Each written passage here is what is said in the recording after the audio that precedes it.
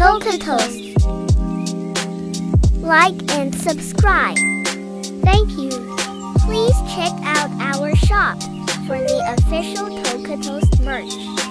Lalalala. Oh, einen Brief muss ich noch ausliefern, dann bin ich fertig mit der Arbeit. Die Post ist da. Auf Wiedersehen. Ich habe doch nichts bei Amazon bestellt. Was könnte das nur für ein Paket sein? Schauen wir mal. Oh, das ist gar kein Paket, das ist ein Brief. Oh, von der Universität, ob Kylie es reingeschafft hat oder nicht.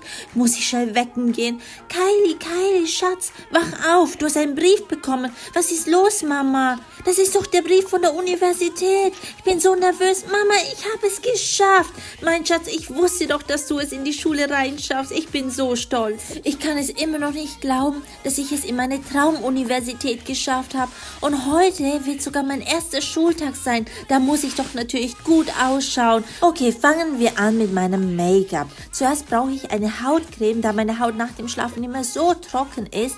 Und dann einen schönen Lippenstift.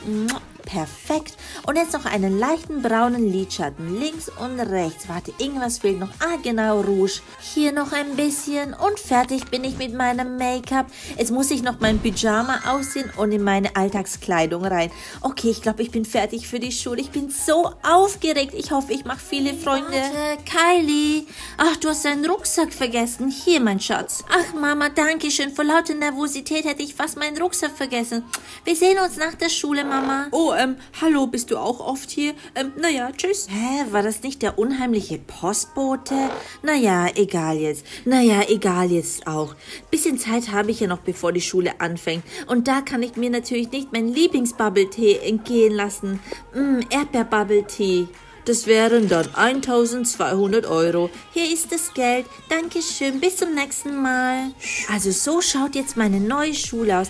Hallo, ich möchte mich gerne registrieren. Oh, hallo, willkommen. Hast du den Bestätigungsbrief? Ja, habe ich. Einen kurzen Moment. Hier ist er. Kylie Jane, 15 Jahre alt, aus Berlin. Okay, passt. Ich habe dich im System eingetragen. Deine erste Stunde wird Chemie sein. Die fängt in 10 Minuten an. Oh, dann kann ich ja noch meinen Bubble Tea fertig trinken. Boah, ich hasse meinen Job. Ich kann es immer noch nicht glauben, dass ich es in diese Elite-Universität reingeschafft habe, weil sonst gehen hier nur reiche Schüler hin. Aber zum Glück habe ich ein Stipendium bekommen. Ach, das muss ja die neue Schülerin sein. Danke für deinen Rucksack. Tschüss. Warte mal, was? Da, das war doch mein Rucksack. Hey, warte! Bitte gib mir meinen Rucksack wieder. Was sagst du? Du willst deinen Rucksack wieder haben? Hier hast du deinen Rucksack wieder.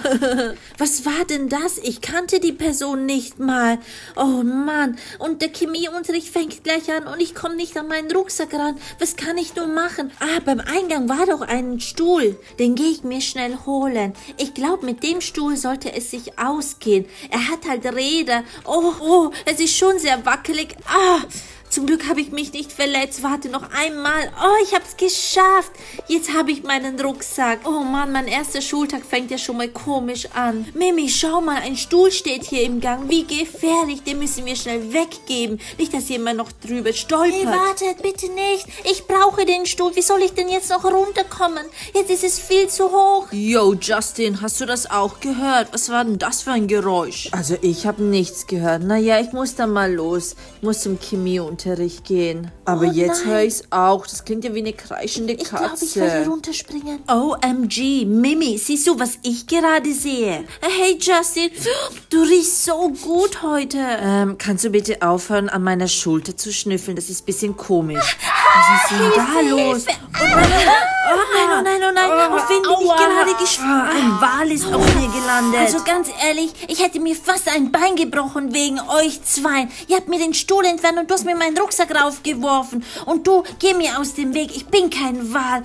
Oh, Wer war dieses Mädchen und wieso greift sie meinen Justin an? Justin, Justin, ist alles okay? Ich habe mir solche Sorgen um dich gemacht. Tut dir irgendwas weh? Soll ich dir ein Küsschen auf deine Wunden geben? Ähm, was geht, mein Bro? Oh, ich meine, ähm, Anton, ja, alles ist gut. Ich habe mir nicht wehgetan, aber ich muss jetzt los. Aber, aber, ich, ich bin nicht dein Bro. Ich bin deine zukünftige Freundin. Und mein Name ist nicht Anton, es ist Antonia. Keine Sorge, er hat deinen Namen sicher nur vergessen, weil die neue Transferstudentin auf seinen Kopf gefallen ist. Ja, da, daran muss es wohl liegen. Na, die kann was erleben. So, bevor wir mit dem Unterricht anfangen, werden wir noch die neue Studentin grüßen namens Kylie. Was ist das bitte für ein Name? Ist es etwa chinesisch? Ach, gerade noch so geschafft zum Unterricht. Oh nein, bin ich mit diesen zwei Blödmännern in der Klasse? Ach, hier bist du ja, Kylie. Fangen wir mit dem Unterricht an. Ich bin schon so gespannt, was wir im Chemieunterricht heute machen werden. So, jeder bekommt ein Reagenzglas,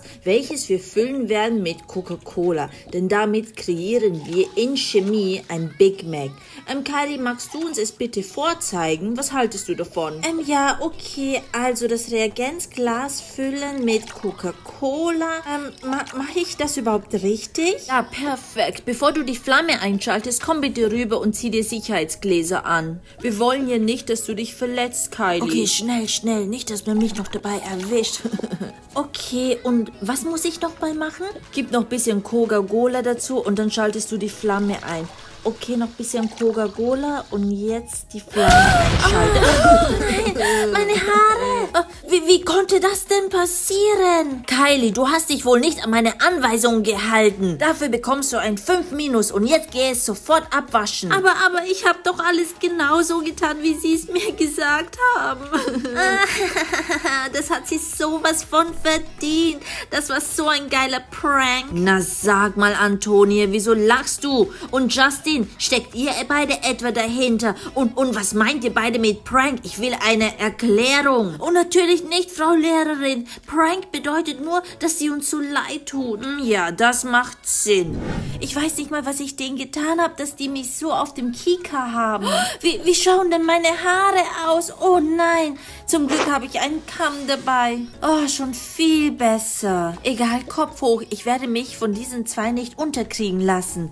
Hm, was für ein Fach habe ich jetzt wohl als nächstes? Oh, es ist Mittagszeit. Ich hatte schon so einen Cola. Perfekt, ich werde jetzt in die Kantine gehen. Oh, ich bin die Erste. Nicht mal eine lange Schlange gibt es hier. Ähm, ich war eigentlich vor dir. Mensch, habe ich einen Cola.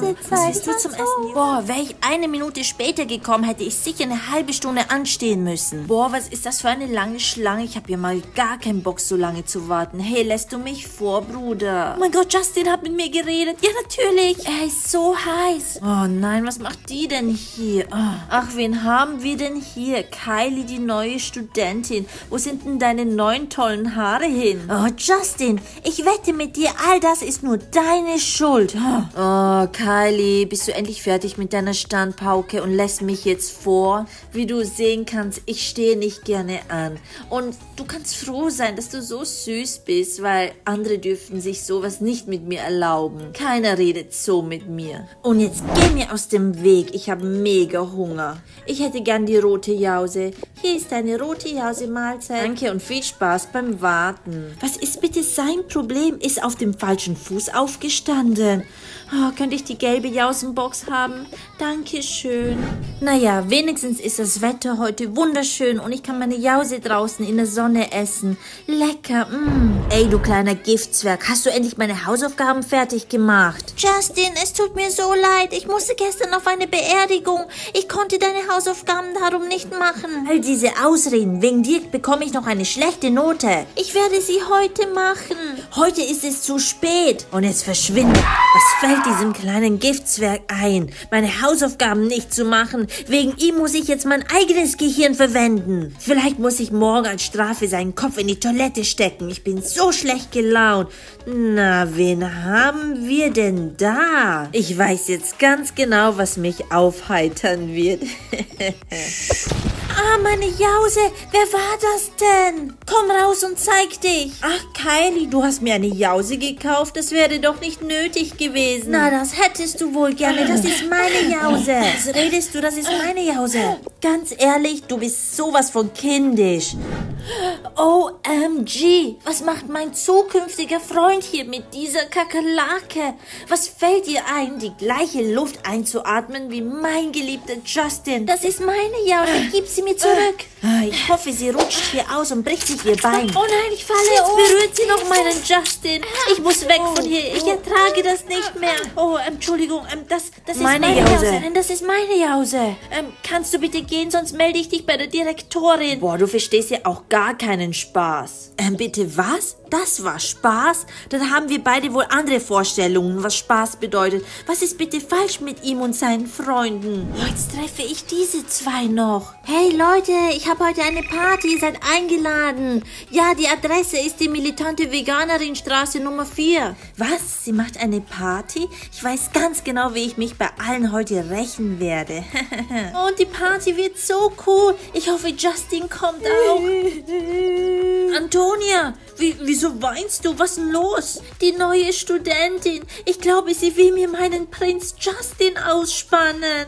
Antonia, keine Angst, das wird niemals passieren, denn ich habe Justin zu meiner Party eingeladen und dort werden wir Flaschendrehen spielen und ich werde dann sagen, dass er dich küssen muss. Mensch, Anna, das ist ja eine fabelhafte Idee. So blöd bist du ja gar nicht, wie du ausschaust. Danke für das Kompliment, Antonia. Wir sind immer für dich da. Ach, ihr seid meine allerbesten Freunde.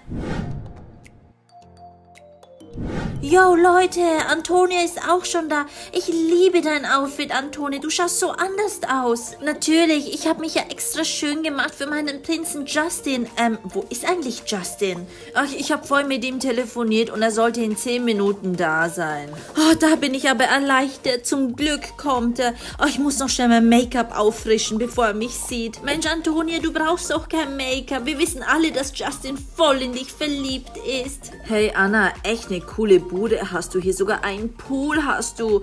Hm, was ist denn das für ein Getränk? Das ist Fanta Kiwi. Na, sag ah. mal, was fällt dir ein, Anna, dich hier hinzusetzen? Ey, das hat voll wehgetan. Wieso hast du das gemacht? Wenn du dich hierher sitzt, hast du schon mal daran gedacht, wo Justin sitzen wird? Oh nein, Antonia, du hast da vollkommen recht. Was fällt mir ein, in meinem eigenen Haus mich hinsetzen zu wollen? Ähm, ich werde mich einfach hierher stellen. Ist das okay? Dankeschön, Anna. Und was ist mit dir, Mimi, du blockierst mir die Sicht vom Eingang. Ich sehe nicht mal, wenn er kommt. Oh, aber natürlich, Antonia. Ihr seid einfach meine allerbesten Freunde. Und als Dankeschön, hier, nimm dieses Getränk, was ich gerade auf dem Boden gefunden habe. Und nimm dieses Getränk, was bisschen abgelaufen ausschaut, für dich. Prost. Da ist er ja. Justin ist da. Oh, er schaut so wunderschön aus, mein Prinz. Ich muss ihn begrüßen gehen. Nachdem sie mich alle so schikaniert haben in der Schule, kommt nun endlich meine Chance, um mich zu rächen. Oh nein, sie haben hier sogar Security. Puh, nochmal Glück gehabt, beide sind am Schlafen. ich hoffe, dass ich allen die Party verderben werde, wenn es plötzlich Kackhäufchen vom Himmel regnen wird. Justin, ich bin so froh, dass du heute gekommen bist. Mein Herz hat sich so nach dir gesehen. Justin, so cool, dass du auch hier bist. Ach, Justin, du musst sicher durstig sein. Komm, lass uns anstoßen. Auf dich. Ähm, okay, danke schön. Mm, vorzüglich war das. Ähm, ich chill mich mal hier hin. Oh, Justin, von hinten schaust du sogar noch besser aus. Du hast ja voll den knackigen Po. Und weg damit. Ich hoffe, Sie freuen sich über diese Überraschung. Oh, ich wünschte, ich könnte Ihre Gesichter sehen. Oh, oh nein, oh nein. Hilfe! Was geht denn hier los? Oh, ich falle gleich. Oh nein! Was ist denn das für ein Geräusch? Oh, nein, oh nein, oh nein. Ah, Jetzt bin ich komplett nass wegen dir. Leute, Leute, schaut mal, was vom Himmel regnet. Was ist denn das? Äh, und wieso stinkt das so? Das, das sind doch Kackehäufchen. Um Himmels Willen. Wieso, fliegt Kacke vom Himmel? Aber was noch viel schlimmer ist, wieso liegt die neue Schülerin in den Armen von Justin? Oh nein, oh nein, oh nein, oh nein. All das ist nur ein schlimmer Traum. Ich träume nur, ich träume nur. Oh, nichts wie hey, weg warte. von hier. Hey, warte doch auf mich. Oh, wo ist sie nur hin? Oh nein, und jetzt fängt es sogar noch an zu regnen. Sie wird sich sicher verkühlen in dem Wetter. Justin, Justin, hier bist du. Ich habe dir einen Schirm mitgebracht. Es regnet ja und ich will nicht, dass du krank wirst. Wobei, mit nassen Haaren schaust du noch heißer aus. Ähm, wie war dein Name nochmal? Ah ja, genau, Anton. Danke für den Schirm. Bis später. Aber, aber Justin, wie, wie kannst du dich nicht an meinen Namen erinnern? Mein Name ist doch Antonia, deine zukünftige Freundin. Oh, das ist nur die Schuld von der neuen Schülerin. Das war so peinlich. Am liebsten würde ich die Schule wechseln. Oh, es ist so kalt. Oh. Hey, Kylie, ah, da bist du ja. Hey, hier, nimm den Schirm, sonst verkühlst du dich noch. Ähm, wieso bist du auf einmal so nett zu mir? Ähm, ich, ich hatte nur Mitleid. Ich muss wieder los. Tsch tschüss. Also wirklich, den soll doch einer verstehen. An einem Tag mobbt er mich und jetzt ist er nett zu mir. Oh, endlich bin ich wieder daheim angekommen. Und in wenigen Stunden muss ich schon wieder in die Schule gehen. Oh nein, ich habe mich so blamiert heute. Alle werden sich sicher über mich lustig machen. Vielleicht morgen, wenn ich aufstehe, kann ich jetzt zu Mama sagen, dass ich verkühlt bin oder Fieber habe. Dann muss ich nicht in die Schule gehen. Ah. Oh mein Gott, was ist bitte los mit mir? Wieso muss ich mich jedes Mal so blamieren? Und jedes Mal falle ich in Justins Arme. Das war so peinlich. Und wieso war Justin so nett zu mir auf einmal? Was denkt ihr, Toasties? Will er mir wieder einen Prank spielen? Naja, genug von Justin auf jeden Fall. Und jetzt grüßen wir unsere Kanalmitglieder. Ganz liebe Grüße an Marchis, Christina, Ariana, Jigsaw, Mia und Alice. Und ganz liebe Grüße an der Kiwi. Ich kann es immer noch nicht fassen, dass du das Video dir schon fünfmal angeschaut hast. Und liebe Grüße gehen auch an die Amelie und Love Friends. Danke an euch beiden für den lieben Kommentar. Und für alle die, die bis zum Ende geschaut haben, würde ich mich super freuen, wenn ihr mir ein Tier-Emoji hinterlassen könnt. Dann weiß ich, dass ihr bis zum Ende geschaut habt. Tschüss, Toasties! Thank you for watching. Don't forget to like and subscribe.